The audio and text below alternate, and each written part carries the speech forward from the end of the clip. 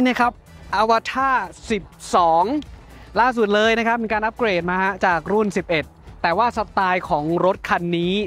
ต้องบอกว่าเป็น Gran Coupe เป็นซีดาน sizing ใหญ่มากนะครับ ความยาวระดับ 5 เมตร ฐานล้อระดับความยาว 3 เมตรเลยทีเดียวนะครับ นี่เป็นรถไฟฟ้าล้วนนะครับ มี configuration อย่างเช่นตัวนี้นะครับ มีพละกำลังนะ ถ้าเป็นชุดของขับเคลื่อน 4 ล้อกำลังรวมกันอยู่ที่ 425 กิโลวัตต์เลยนะครับ หรือ 578 แรงม้าครับ และสามารถทำระยะทางสูงสุดได้ถึง 650 กิโลเมตรตามมาตรฐาน NEDC นะครับส่วนถ้าเป็นรุ่นที่ขับเคลื่อนมอเตอร์เดี่ยวนะ ขับหลัง ตัวนั้นจะให้พละกำลังมาอยู่ที่ 230 กิโลวัตต์นะครับ หรือว่า 313 แรงม้าครับ แบตเตอรี่ขนาด 94 กิโลวัตต์ชั่วโมงนะครับ สามารถทำระยะทางได้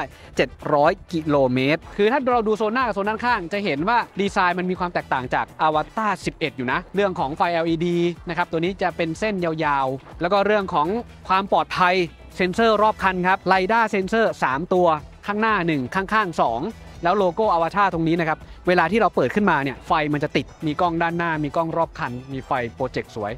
ชุดแต่งตัวนี้ครับถือว่าเป็นตัวท็อปของเขานะครับดูดิสเบรกอะแคลิปเปอร์สีแดงจากเบรก Brembo นะครับ ล้อแม็กขนาดใหญ่นะครับ อยากให้ดูหูกระจกด้านบนครับ กระจกฝั่งนี้เป็นกระจกแบบดิจิตอล มันไม่ใช่เป็นกระจกที่แบบสะท้อน และเขาจะโปรเจกต์ภาพออกไป โดยใช้กล้องนะครับในการตรวจจับก็จะแสดงผลในฝั่งของภายในด้วย แต่ว่าเขาก็จะมีเวอร์ชั่นที่เป็นกระจกที่เป็น traditional ด้วยนะ มือจับเปิดแบบราบเรียบ และแน่นอนครับว่าคันนี้ตัวประตูทั้ง 4 ประตูนะครับมาพร้อมระบบไฟฟ้าเช่นเดียวกันอะดูโซนท้ายนิดนึงครับ เหมือนกันเลยนะครับ ดูกล้องครับด้านหลัง ส่องออกมานะครับ เพราะว่าอย่างที่บอกเขาไม่ได้มีกระจกให้มองทะลุหลังมา โลโก้ของ AVATR ตรงนี้นะครับ ก็จะเป็นไฟออกมา ตัว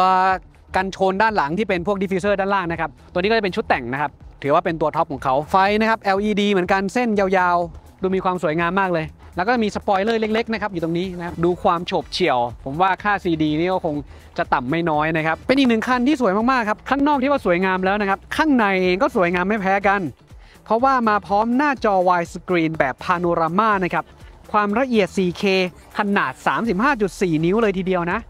การแสดงผลเนี่ยแบบกระจกนี่สองฝั่งนะครับ infotainment แบบลอยตัวนะครับขนาด 15.6 นิ้วใหญ่มากนะครับหน้าจอหน้าปัด LCD แสดงผลการขับขี่นั้นอยู่ที่ 10.25 นิ้วครับฝั่งของผู้โดยสารก็มีจอเช่นเดียวกันครับขนาด 10.25 นิ้ว คันนี้มาพร้อมระบบ Harmony OS 4.0 ครับของ Huawei ที่จะช่วยเหลือในเรื่องของการขับขี่อย่างอัจฉริยะ แบบระดับ high-end เลยนะ มี ADAS 2.0 ของ Huawei ด้วยสำหรับฟีเจอร์อื่นๆนะครับของคันนี้เองก็ยังมีหลังคากระจกพาโนรามาบานขนาดใหญ่เลยนะครับพื้นที่รวมกันถึง